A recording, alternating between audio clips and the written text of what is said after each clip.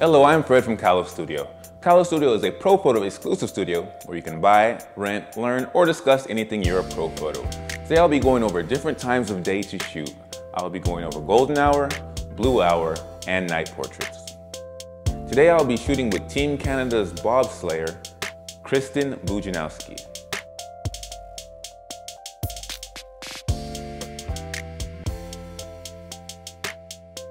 Golden hour is the hour before sunset or the hour after sunrise.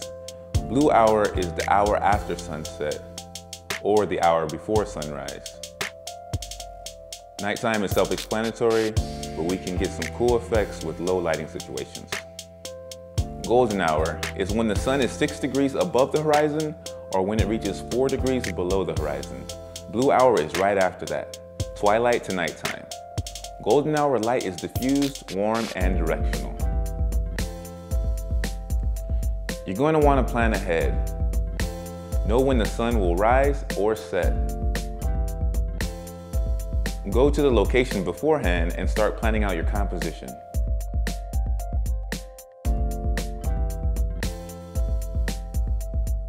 You can even test out your exposure settings. Some photographers let the sun expose the subject's face, some have the sun hitting the subject's back, while exposing for the subject, leaving the sky and background overexposed.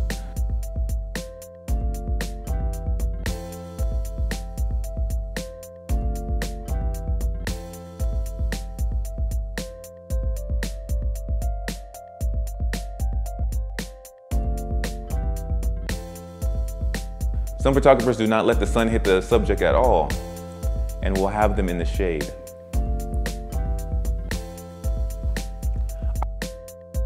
I like to use the sun as a rim light. I expose for the background and light my subject with the flash. I will use this technique for all of my outdoor portraits.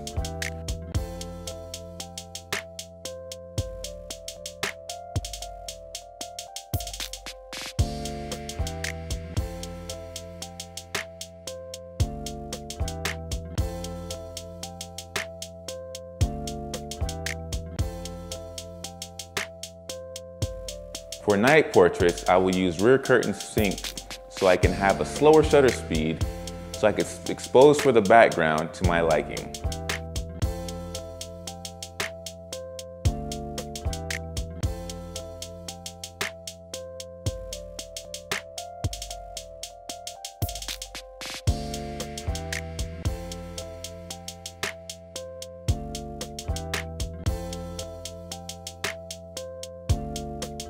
Okay, this concludes my demonstration on how I light under these conditions. If you have any questions, thoughts, or if there's something I forgot to mention, please leave it in the comment section below.